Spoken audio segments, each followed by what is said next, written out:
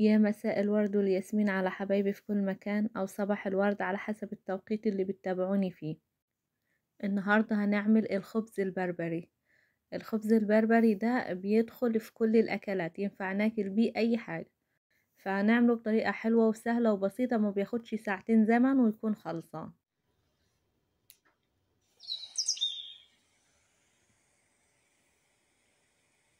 يلا نبتدي الوصفة.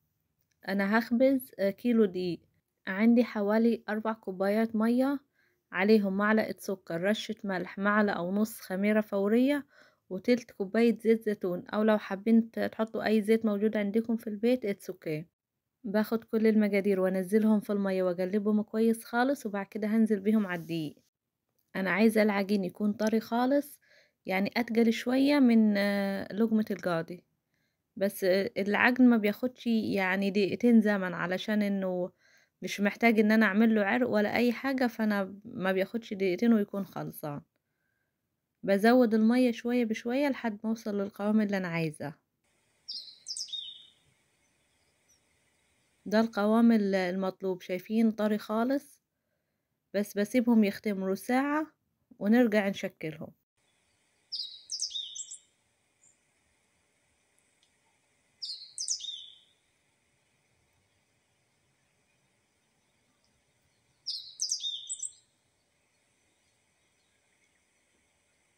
بعد ساعة هحضر الصواني اللي أنا هستخدمها. بدهنها زيت كويس خالص علشان بس إنه العجينة بتاعتنا طرية متلصقش في الصواني. لو حابين تستخدموا ورق الزبدة it's okay.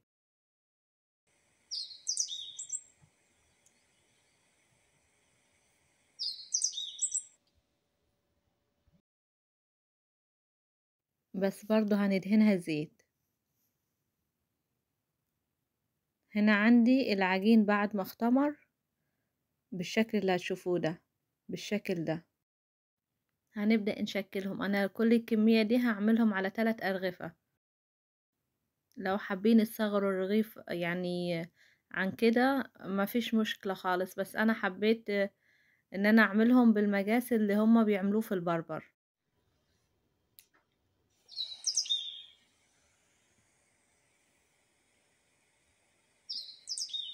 الطريقة دي أنا واخداها من واحدة من البربر يعني من سكان البربر.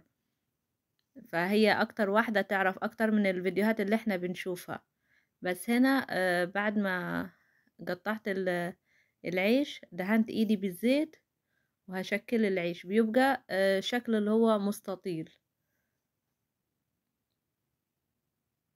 وبيكون العلو بتاعه حوالي سنتي.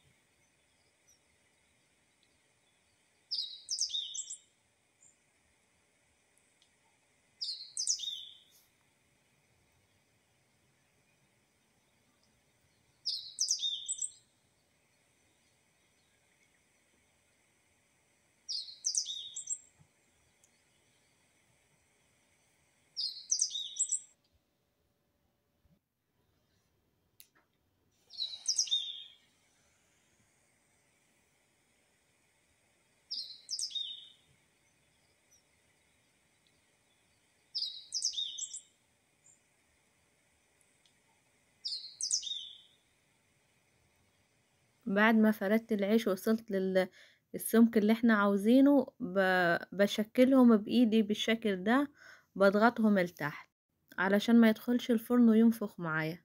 إحنا مش عايزينه ينفخ. بعد كده أنا بدخلهم الفرن فرن سخنة درجة حرارة عالية بياخدوا حوالي تلت ساعة. بياخدوا تلت ساعة وبعد كده بشغل لهم الشواية ياخدوا اللون واطلعهم.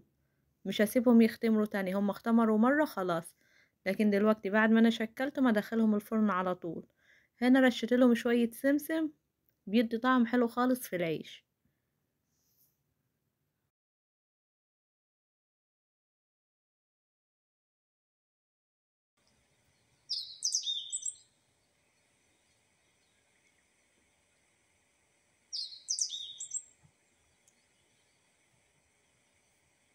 وادي الرغيف التالت. أنا دلوقتي مشغلة الفرن هدخلهم الفرن على طول. العيش ده في ناس بتقول عليه هناك كمان اسمه عيش التنور.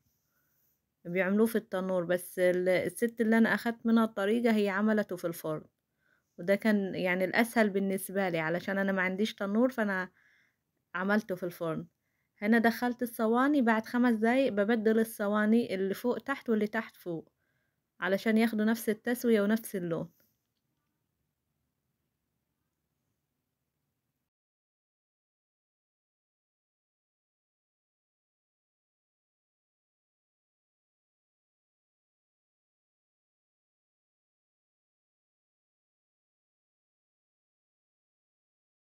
هنا بعد ما كنت شغّلت عليهم الشواية يعني دقيقة واحدة وطلّعتهم بالشكل ده، العيش تحفة أتمنى الكل يجرّبها، ويا ريت اللي يجرّبها يعرّفني في الكومنتات وإن شاء الله نشوفكم على خير في فيديو جديد see you bye bye.